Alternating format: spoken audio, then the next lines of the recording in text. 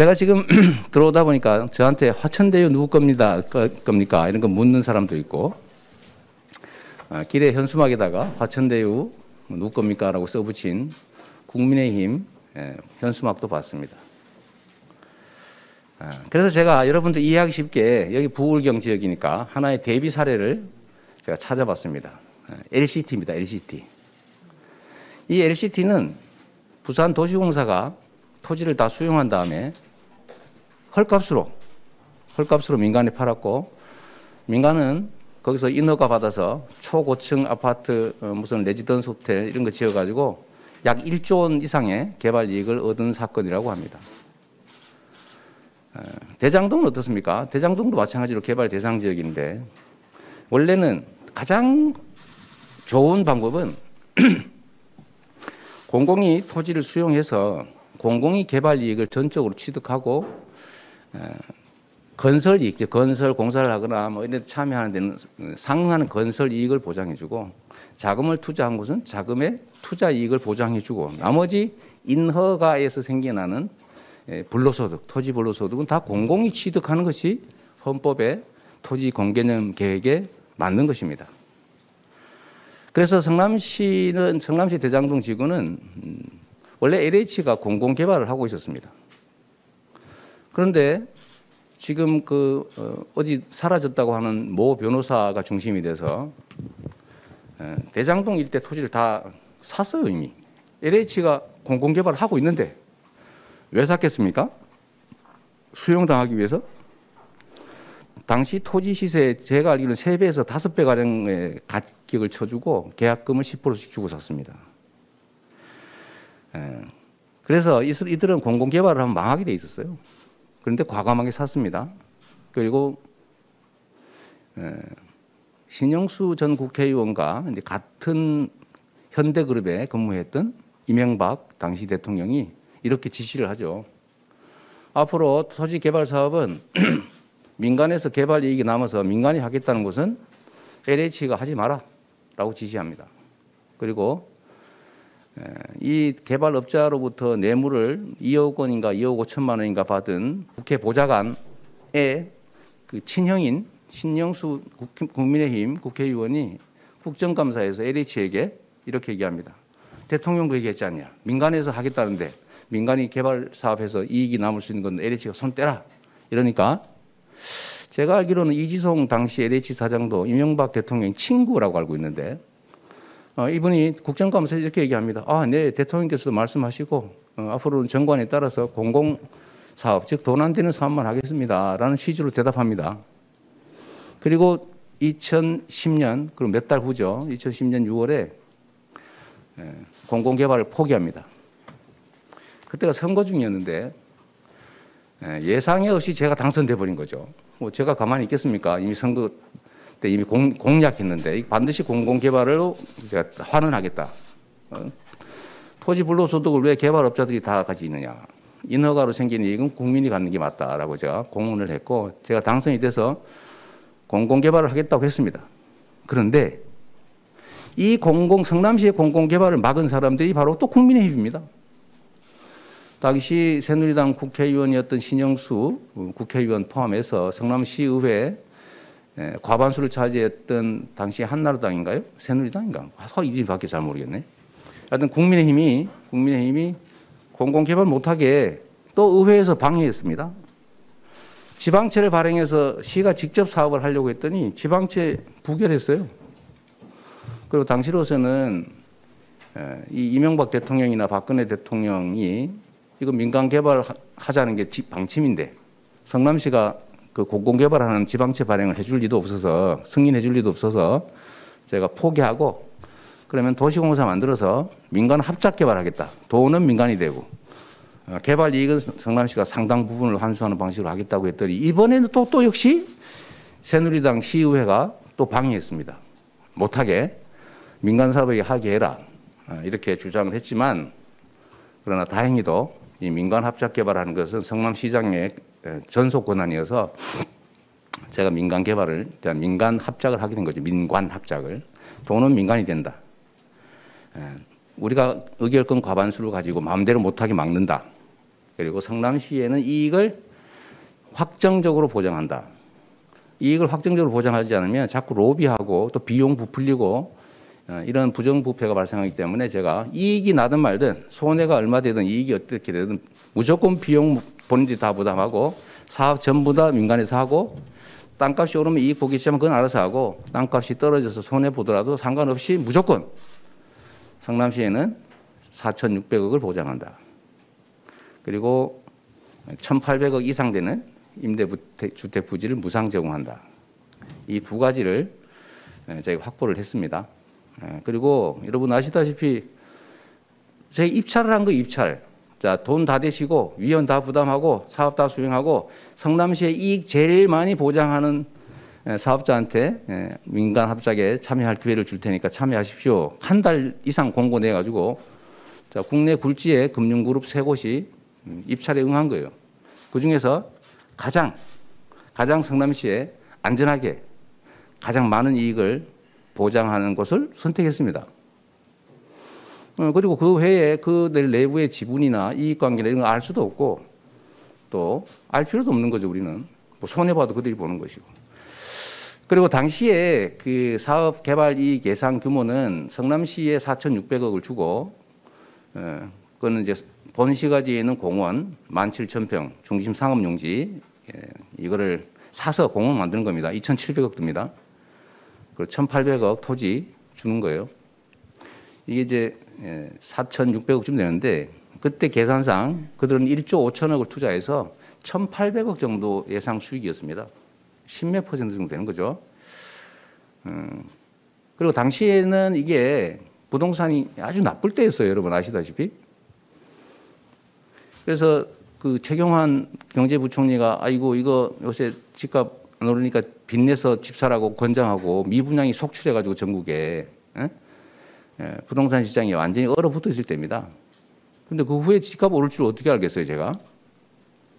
예, 그런 위험 부담 때문에 예, 저희가 확정 이익을 사전에 정한 겁니다.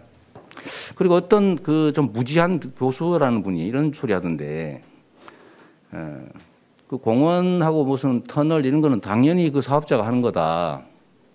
어, 이런 얘기하면서 뭐 특정 언론이 확인도 안 하고 그거를 제가 거짓말한 걸로 어, 또 기사를 쓰고 그러던데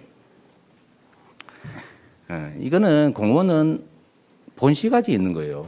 그리고 기부채납은 사업지구 내에 있는 공원, 도로 이런 걸 기부채납하는 겁니다. 누가 그 계산했습니까? 터널하고 뭐 배수지 이런 거는 해당 지역과 직접 해당 지역도 관계가 있긴 하지만 원래 성남시가 하게 되 있는 도시계획도로와 도시계획 사업이었어요. 그 제가 인가 조건에 나중에 집값이 좀 오르는 것 같아서 920억 원을 추가 부담시켰는데 그거 역시도 그들이 할 의무가 없는 건데 제가 성남시 예산으로 할 걸 그들에게 부과시킨 거예요. 그래서 그분들이 저한테 뭐 깡패, 양아치, 어? 심지어 공산당 이런 욕을 했던 겁니다. 어, 인허가권을 남용해서 너무 민간 사업자한테 돈을 많이 뺏는다. 대유가 하천대유가 제 거였으면 제가 저한테 뺏었겠습니까? 응? 그리고 차라리 민간 개발하겠지 말로고 공공 개발하겠어요? 이런 상식 밖의 주장을 하고 있는데 여하튼 결론은 이 해당 지역의 토지 투기 세력과 손잡은 것도 국민의힘 공공개발하자고 로비해가지고 압박해서 민영개발 만든 것도 국민의힘 성남시의 공공개발 투지를 막은 것도 국민의힘 민간 사업자 참여시키라고 압력 넣은 것도 국민의힘 여기서 뇌물 받아먹은 것도 국민의힘 나중에 새로 사업 참여한 그 토지 투기 세력들한테 이익 챙기고 어? 이 투기 이익 나눠 먹은 것도 국민의힘 다 나타나고 있지 않습니까? 그리고 저한테 그 사업권 뺏겨가지고 감옥 가고 그다음 사업 망해가지고 엄청나게 피해를 입은 그들이 그리고 저한테 공산당 소리 하면서 920억 추가로 더 뺏긴 그 집단이 저한테 무슨 어? 좋은 감정이 있겠습니까? 그리고 거기 유명한 우리 곽상도 원 계시잖아요. 남의 그잘 후배 파는 사람. 예, 그분 아들이 거기 7년 다녔다는데 그 내부 내용 다 알 거 아닙니까? 제가 관계 있으면 옛날에 저를 죽였겠지요. 예, 그때가 언제입니까? 박근혜, 이명박 그 엄혹한 시절에 제가 광화문에서 농성하고 예, 싸우고 막 그럴 때입니다. 그래서 이 대장동 사건은 국민의힘이 토건 비리 세력하고 부정부패 저지른 대표적인 적폐 사업입니다. 적폐 사업. 그나마 제가 있었기에 망정이지 제가 없었다면 어, 그 100%그 사람들이 해먹었겠죠. 2014년에 제가 재선될 때 이때가 지금 4년 동안 싸워가지고 공공개발을 하느냐 민영하느냐 도시개발공사를 만드느냐 못 만드느냐 4, 5년 동안 싸우다가 그때가 그 분기점이었습니다. 그때 아까 얘기한 민간 개발업자한테 돈 받아먹고 먹은 사람의 형이고 LH에 직접 사업을 추진했던 신영수 국회의원이 아예 국민의힘 시장 후보로 나왔어요. 그러면 그 사람이 됐으면 어떻게 되겠습니까? 당연히 국민의힘이 원래 원하던 대로 민간 개발하고 아니 도둑잔치 했겠지요. 근데 저희가 그래도 2014년에 다시 이겨서 그때 의회 구조가 좀 바뀌면서 덕분에 겨우 민간 개발이라도 할 수 있게 된 겁니다. LCT 얘기를 제가 잠깐 드려볼게요. 제가 LCT를 보니까 이게 대표적인 국, 국민의힘이 하는 부패 커넥션입니다. 자, 부산도시공사는 적자가 그 지금 2조 원이라는데 2조 원이라는데 이걸 공공 공공 수용을 해가지고 토지를 취득한 다음에 그냥 팔아버렸어요 민간에. 그 민간한테 또 성, 부산시는 인가 인허가 해줘가지고 초고층 지어가지고 1조 원 남겨 먹었다는 거 아닙니까? 이거 더 문제 아니에요? 음? 만약에 제가 어, 부산시장이었으면 이렇게 했을 겁니다. 토지 수용을 이미 했잖아요. 또 이미 거의 도시공사 거지 않습니까? 그러면 민간 사업자들한테 자 부산시에 가장 이익 많이 줄 업체 손드세요. 입찰합니다. 지금부터 가장 많이 이익 주는 업체한테 맡깁니다. 그랬으면 1조 원이 남는 사업이었으니까 최소한 제가 보기엔 3, 4천억은 제시했을 겁니다. 그럼 3, 4천억은 무조건 주고 분양이 되든 안 되든 부동산 값이 오르든 내리든 상관없이 당신들이 돈다 대고 분양 다 책임지고 위험 부담 다 해서 뭐 가지든지 말든지 알아서 하시고 예, 부산시는 또는 부산도시공사는 3천억 예, 내지 5천억을 사전에 확정한다. 그 미리 받는다.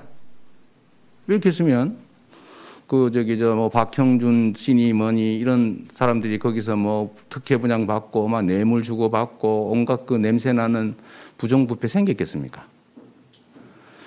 문제는 이, 나라의 그 망국의 원인이라고 할 수 있는 토지 투기 세력들의 토지 불로 소득을 막아야 됩니다. 그리고 그 토지 불로 소득을 먹고 사는 부패 세력이 바로 국민의힘입니다. 그래서 이 국민의힘을 국민의 짐이라고 국민들이 조롱하는 거예요. 그 자기들이 부정부패 저지르다가 그 부정부패 막아서 조금 해먹어서 억울한 건 이해하는데 원래 그런 집단이니까.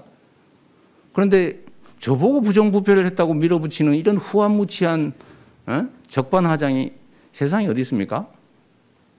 그리고 아까 얘기한 대로 이 의도를 가지고 이 마치 부정부패인 양 뭐 자본금과 투자금을 구분 못하는 척하면서 예? 1억짜리 회사가 500억 투자해가지고 250억 벌었으면 그 50% 수익률이지 어떻게 자본금 1억에 대해서 500배라고 250배라고 할 수가 있습니까? 이 몰라서 그러겠어요? 다 알면서 부풀리려고 음해하려고 하는 대표적인 이거 가짜 뉴스입니다. 이런 걸 징벌 배상해야죠. 징벌 배상제 꼭 도입해야 되고요. 이런 경우는 아주 엄벌 해야 된다. 그리고 또 한 가지는 아까 말씀드렸습니다만 그 전화 한 번만 해서 공무원한테 물어보기만 하면 알 것을 해당 사업 지구 내에 공공시설은 기부 체납하는데 제가 그걸 어, 이익으로 확보했다고 말한 적이 없어요. 당연히 수천억 대 그 뭐 도로 어? 무슨 뭐 공원 다 성남시에 기부 체납하죠. 그걸 계산한 게 아닙니다. 이 사업과 아무 관계 없는 원래 성남시가 해야 되는 1공단 공원 조성 사업, 북측 터널 개설 사업, 배수지 설치 사업, 어? 고속도로 인임로 확장 사업 이거 그 사람들한테 제가 강제로 부과시킨 겁니다. 안 해도 되는 거예요. 근데 이걸 내가 보기 확인도 안 해본 게 아니고 확인 안 한 척, 실수인 척 하면서 이재명이 그 성남시 이익을 과장했다라고 음해한 거죠. 제가 대장동 개발 사업에 5,500억 환수했다, 돈 벌었다. 이랬더니 검찰이 저를 허위다. 이래서 기소, 기소했지 않습니까? 왜 했다고 했느냐? 지금 하는 중인데 했다라고 했다. 에? 돈 벌었다고 했는데 너 돈이 아니고 부지를 받은 거 아니냐. 공원을 받은 거 아니냐. 너 돈 이랬으니까 거짓말이다. 이렇게 해서 기소한 검찰인데 만약에 5,500억이 가짜였고 원래 당연히 성남시가 받아야 될 그들이 당연히 부담해야 될 거를 그 포함시켜서 제가 5,500억 그랬으면은 그걸 빼먹고 검찰이 기소했겠습니까? 과거형이냐 현재형이냐 가지고 기소한 그 에? 검찰이 하여튼 그래서요 이 LA, LCT 사태하고 그다음에 성남시 대장동을 비교해 보면 자 공공환수를 하고자 노력했는데 방해한 세력이 누구냐 공공환수를 방해하고 민간 개발로 불로소득을 민간 토지 투기 세력이 먹도록 가지도록 조장하고 비호하고 엄호하고 결탁한 세력이 누구냐? 바로 국민의힘입니다. 국민의힘 스타일이 원래 이렇죠. 그래서 국민의힘은 청산돼야 될 적폐 세력인 겁니다. 다시 촛불을 들어서라도 이런 거짓말하고 국민 속이고 부정부패 막은 사람을 부정부패한 자들이 왜 부정부패 그밖에 못 막았냐? 라고 주장하는 이런 이 적반하장, 응? 정말 후한무치, 이거 반드시 시정해야 됩니다.